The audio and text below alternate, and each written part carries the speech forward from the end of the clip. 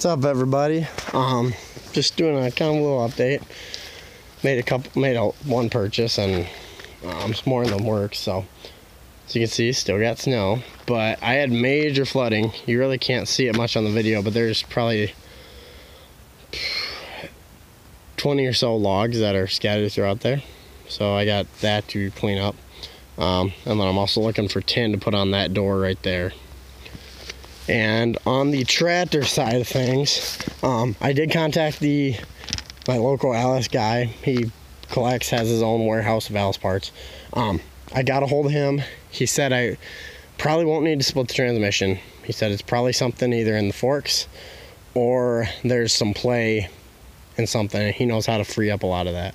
Or he had said on the detent rail, he pulls it out and he welds it and then regrinds it and puts a new detent a 16th further. So when it kicks in it will actually go a little bit further giving you that extra clearance. Because I may have an issue where one time say this is my gear it's sitting here and then if it moves you know just a 30 a 16th back there's some slop in it. So if it moves back it may not in. If it's forward it works. So that should clear that up. Um, as you can see I got a gate this it was this week from Tractor Supply. Um, I just want Tractor Supply, pretty simple. Fleet Farm will not give me a uh, tax write off, so and Tractor Supply is all I need to do is go in. Fleet Farm, they're asking for my tax papers, and I have nothing to show so far. So this is a county line. Um, I think it's Behlen Country or something heavy duty gate. We'll see how it holds up. It's eight foot. Uh, kind of spendy, but I was looking online for eight footers and a heavy duty one where I need something heavy duty here because I plan on if I have to work cattle, the vet's gonna come in here and he's gonna put his chute there, and I'll just run them from inside and around here. And I need something. They're gonna hit this gate. If I get one of those light utility gates, this will be bent. And that's all I found online was they either were bent here or that was all bent up or missing. They were just beat up. So I figured I'd might as well just spend the money, do it right the first time. And now I just have folks on that. I think I I don't know if I ever gave a update on how I was gonna do the fencing. I will put the charger in here, um, run a hot wire on the backside, come in here, and then I'm gonna go up and over and like Brad had said, I'm probably going to get, there'll be three on here. And the middle one will be hot, those conductive ones. But I'm going to make it a handle so that way if I need to disconnect, I can. Or like he had said during the winter, I can unhook both gates and then I'm going to order some non-conductive ones for hooking on that end and that should clear that up. Um, and then during the winter, I can take them both off. They won't ever see the or see the snow, so that should keep those good. Next, um, I haven't really done a pasture, kind of to show you guys what the front part was like, but I originally had it going back around behind the house there, and I'm actually because I was talking with a couple guys, and Brad, you were one of them. Um, if I was to go sell the place, someone else is gonna want to buy it. And if I have permanent fencing, I'm putting a post in at every corner.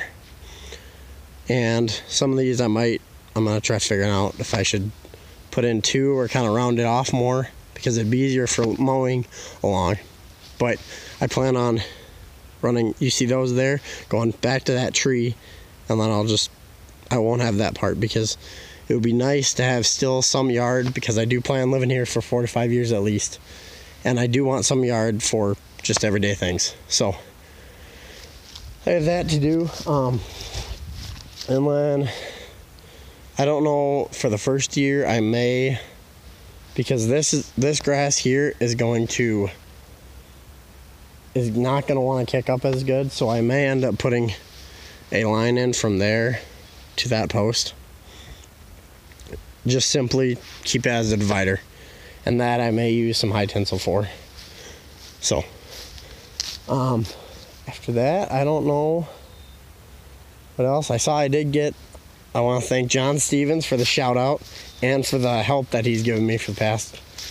I did call him a couple times and now and the shout out. That was a wonderful. I did gain some subscribers, so welcome new subscribers and stick along for the journey because it's just beginning. Um, I did figure out. I don't know if you guys have this in your state, but Iowa has. It's called Beacon, and you can go online, search your county, look up whatever you want, click on that parcel, and it will show who owns it, where they live. So I figured out I'm going to since they live the one lives about an hour away and the other one lives up northwest of me about two hours. So i am going to uh, mail them a letter i talked with a couple of buddies and that's how they do it. That's how they had suggested to find these guys. And i plan on writing them a letter explaining everything what's going on and see if they get back to me. Um, and then that would put me if i can get those that would put me up in the 12 see there's five. Yeah, that would put me up at least. I may be pushing 20 acres possibly. I don't know for sure what that one guy has for waterways, but and that would go on. I don't know if, like I said, I forget what I say in my last videos, but that would go on my hay sales, and I can start making hay because I plan on with this being four and feeding during the summer too uh, because I will keep them out on a lot. This will probably be for 10. I'll keep them on the wooded lot for probably 15 or so, and then this will be a 10. The wooded lot may be more, so that should give me 35 days for a rotation. So that should give the grass enough time to kick back and kind of regrow. So I plan on feeding them and then probably half my hay because um, I am selling probably 60 or so bales this year, and that is what we'll be paying. Kind of that's why a lot of this hasn't kicked off further. because I was talking to a guy and he was debating how many bales he wanted to buy, and I was going to use that money to get all this set up. And oh, on the Tractor Supply deal, I was looking for high tensile, and they have online a 4,000 foot roll, same gauge, for 100 bucks or 90 bucks. In store, they have a thousand foot roll, same price. So I, I asked them about that, and they seemed to have no clue.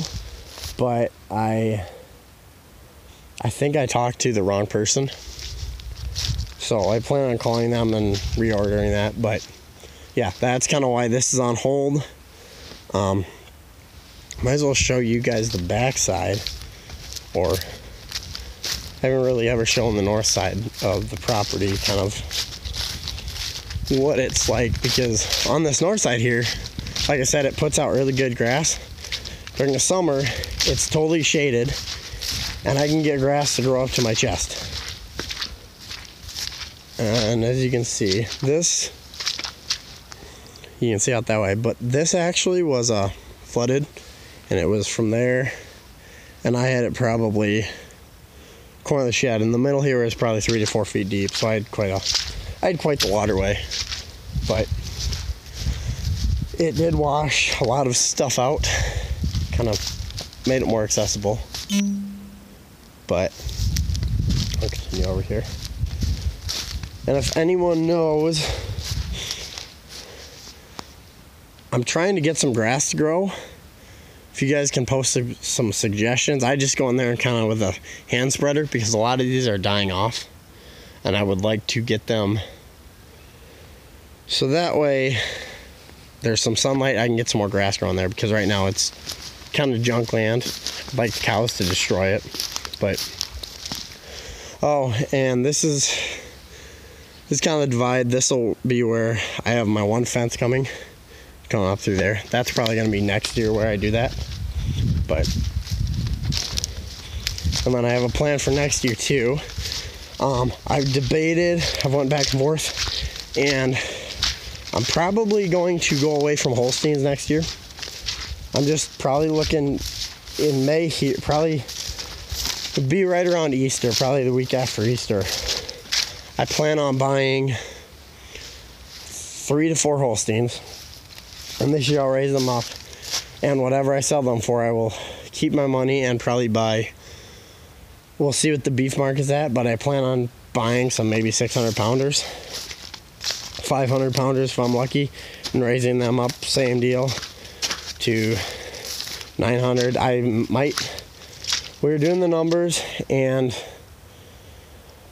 like I said with my buddy, who he's finished out, and he also does his cow calf operation, which is what I've been helping with. But he does, he did some numbers for me, and his numbers actually came up better, which I kind of thought where once you get them past that certain weight, they're not going to gain nearly as much. So I probably will raise some from 500 pounds or so, 550 to maybe a thousand pounds and sell them off. Same deal. I'd get them in the spring, sell them in the fall, and we'd be done with that. So next year, or I may finish them out if if I see that fit. If I can find some people that want beef, I may end up finishing them out. But so it's just gonna take a lot of work because I have to. Like I said, I'm going to go to high tensile and I'm going to put in all my corners, which there's about Oh, I think I came up with 12 corners. They're all going to be wooden posts. Um, and I'm going to, I, I was debating on it if I wanted to go two strand or three strand. I think I am going to go three. So pop your comments below what you guys do for three strand for heights. You can look online, I know. They say sometimes 10, 20, and then like 36 or something. Because that will, when I get the beef cattle, I plan on, you know, they'll be a lot taller. And then hopefully, after I get these beef cow for a couple years, I may consider buying um, pairs, two pairs to start. Just have two, two, um, two or three pairs, and that would be probably three or four years down the road. Right around the time I'm looking at transitioning over to bigger acres. So that's kind of my outlook. As you know, it can change by the minute, but so we're going. Um, been having a tough time keeping up with you guys' videos. It's been busy. I've been helping buddy Homanor. He's calving. Um, he lost three calves so far this year. They were a month early, so and then he's now having a lot of luck. So that's kind of been my my big weekend adventures. So, hope everyone's doing well. Um, hopefully, spring is here before isn't or is here before too long, and we can start getting some haying done because I'm looking forward to this year. If I get lots of acres, it could be a busy year, and with having a hay market that I can sell my hay directly out of the field, that will be even better. So, thanks for watching, guys. Um, got any comments? suggestions for me. I'm always open to them. I like I like this community, getting to know people. It's been very fun. Um, and I'm wondering, just I guess my biggest questions are: What are you guys running for your? Um, where to put your wires at for your high tensile? And I'm also debating on: Is a five mile fencer good enough? I know, I know I should go with 30, but probably when I sell this property, I'm to sell everything that you can see. And I will sell it as one whole. Probably ask for it should give me more commission too, which it will increase property value. So, um, yeah, just nice suggestions on that. Thanks for watching, guys. Remember to like, comment, and subscribe. See ya.